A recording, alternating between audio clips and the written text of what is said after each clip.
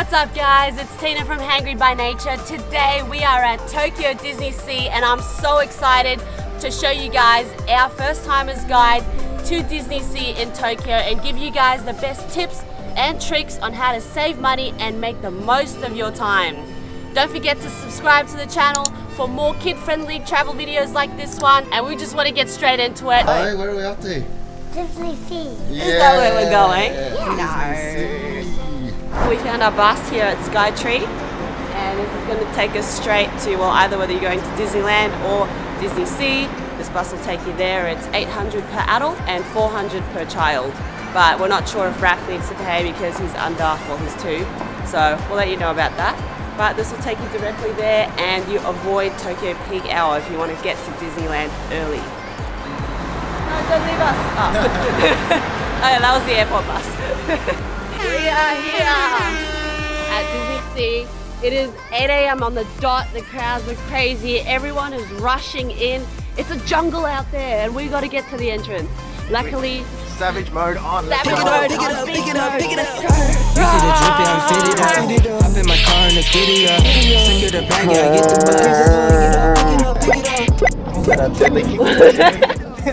the. So we bought our tickets at 7-Eleven convenience store already. So luckily we do not have to buy tickets. Hopefully the line, okay, it's crazy. it's crazy. Look up there.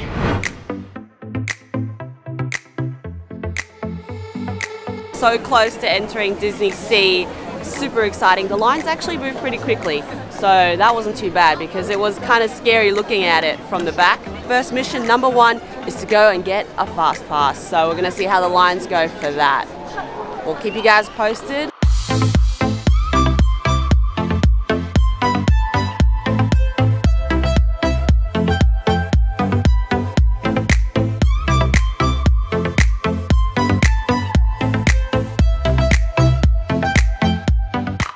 currently 8.30 in the morning.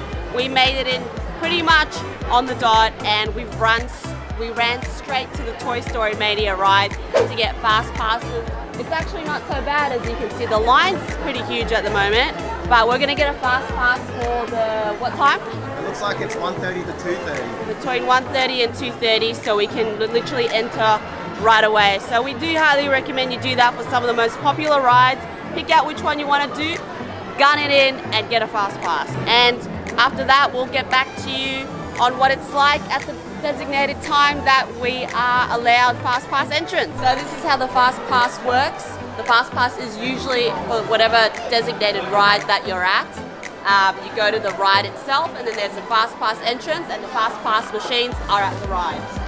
So you scan the QR code in the machine and then you, the fast pass drops out. So it says here fast pass reminder. Our entry is between 1:35 and 2:35, so that's when we got to make it back here to get on this ride. If you miss that window, you miss your fast pass. So keep track of time. Oh, and also at the bottom of the fast pass entry, it says when you're eligible for the next fast pass. So for us, we can't get another one until after 10:30. So at 10:30, we're going to go to the next attraction and find our next fast pass for one of the most popular rides. So keep an eye out. About to see the world in action. What we can be. Life with no distractions. We'll get away.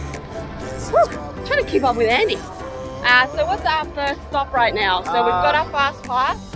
Now we're going to I think it's like the boat bumper cars. I forgot the name of it already. boat bumper cars.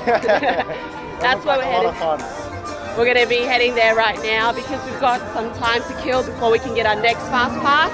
And we've got a lot of time to kill before we can go on the Toy Story ride. So we got to make the most of our time because after lunchtime it gets super busy and that's when you're going to have to wait hours to get on the ride.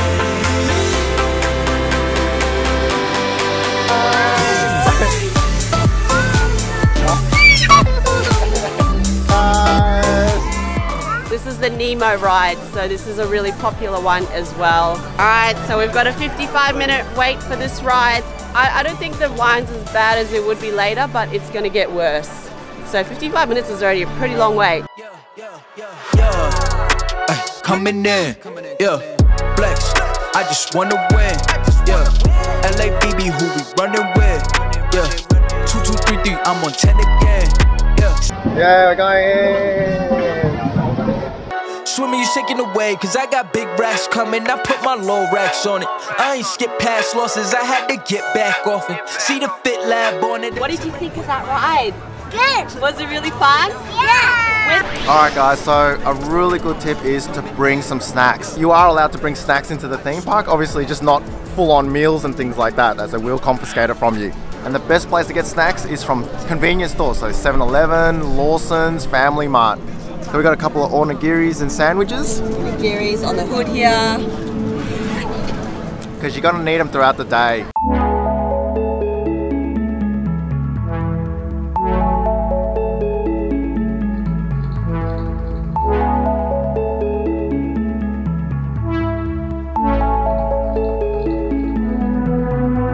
So originally we wanted to get a fast pass for this 20,000 Leagues Under the Sea ride, but the wait time's not too bad. It's 35 minutes, so we might save that fast pass and get on the ride. As we realized kind of into the line a little bit that we should have just gotten the fast pass anyway to walk straight in because we didn't really know what to get it for after that that our boys could go into for their height. So we just went to get the fast pass regardless of the fact that it was only a 30 minute wait just to walk straight in, which is what we're going to do right now.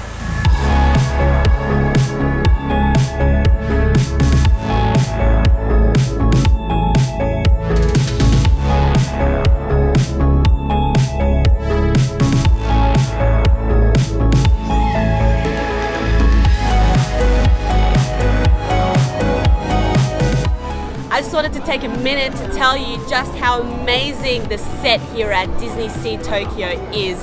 What, what do you think? Well, my favorite would have to be Mount Prometheus. It's like a volcano scene, you can kind of see it behind us. The detail in everything that they've done for it, all the rocks and the different machinery that's sticking out, the boats in the water, is just so amazing. It looks Like, legit. It's so Legit. realistic and like you full on get yourself immersed inside it.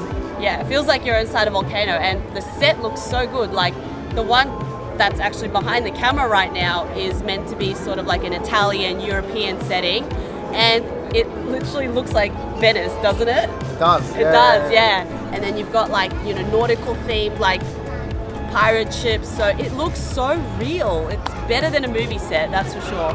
And um, in comparison to Disneyland, it's totally different, right? Like, Yeah, it's different themed. Like this is Yeah. maybe a bit more for like Disneyland is maybe more for kids, a lot of kids themes. This is actually I found more a bit more mature, a bit more older people. it's just the overall layout of this place is absolutely incredible. And I think for us, because we've been to Disneyland, this is currently one of my favorites. I think this looks amazing here.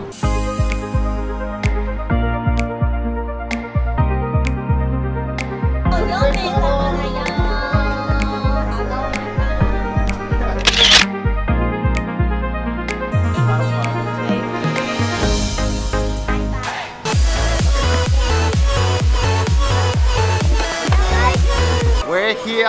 Toy Story Mania. Our fast pass time is up, so it's a little bit after 1.30. So we're going to show you guys how effective the fast pass is on the most popular ride in Disney Sea. So we're gonna walk straight into the fast pass line at the Toy Story ride now. The normal wait time right now is an hour and 20 minutes, but we're gonna go right in with our passes that we got this morning. So let's go.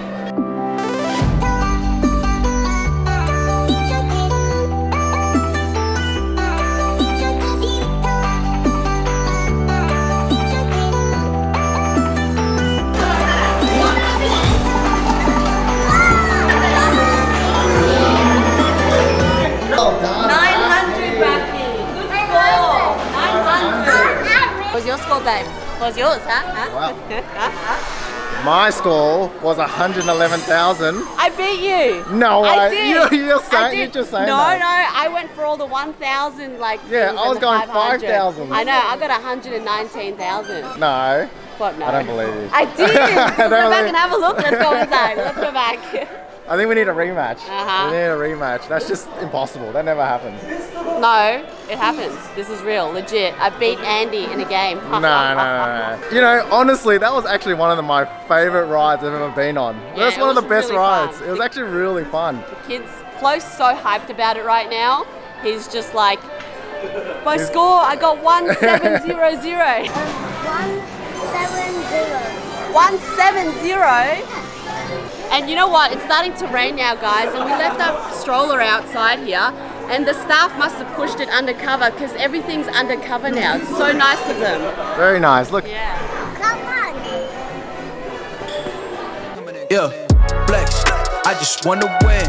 Yeah, LABB, who we running with? Yeah, two two three three. I'm on ten again. Okay, alright.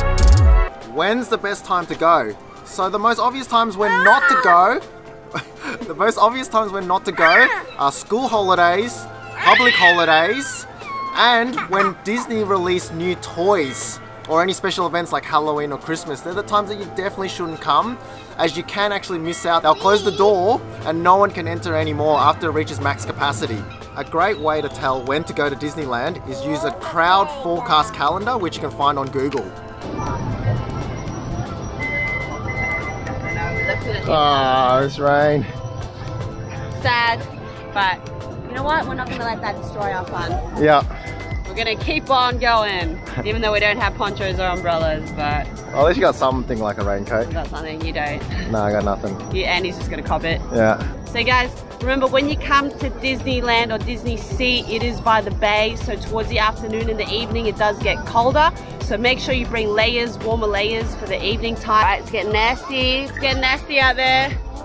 What's the uh, plan of attack Oh, I think we need to go there. That's Sinbad's ride. Okay. Well, that looks like it's undercover, so Yeah, I think we should try and do it. make a move for it. Oh, that mate. ride looks good too, but it's Oh, yeah. one. That's um the magic carpet ride. Which the kids can go on, I believe. So they're gonna get really wet. Yeah, we're gonna have to wait till it dries up a bit. Let's try Sinbad. All right, let's, Let's go do it. Sinbad. Let's go charge.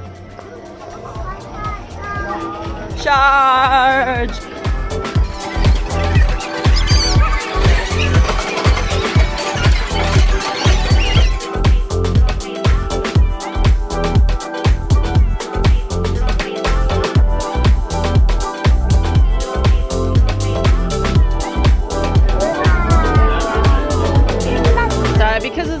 We're gonna go inside the Mermaid Kingdom right here. It looks really cool and it's all indoors and there's a bit of a playground so we can kind of just chill and keep our fingers crossed that this rain subsides.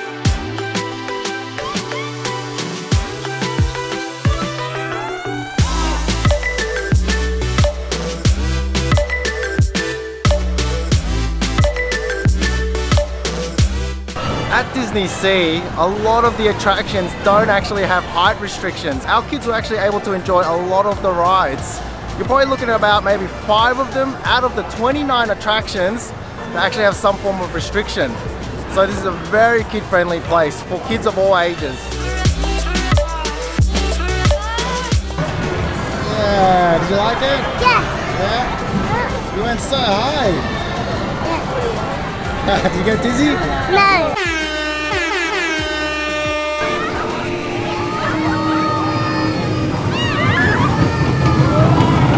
Another quick tip guys, if you want to do your souvenir shopping, we highly recommend doing it earlier on in the day because by the end of the night, everyone's got the same idea as you can see and it gets really hectic. Shows guys, now Disney shows are an absolute must when you're at the theme park and Disney Seas shows are amazing. The highlight of the shows is probably the ones at night with the light electric lights and the boats here. But um, there are numerous shows that take place throughout the day. Just make sure you grab a schedule as soon as you walk in. But we do highly recommend if you stick around long enough to stay around for the show at 8 o'clock at night. It's seasonal and it can change, but um, it's definitely the show to go to.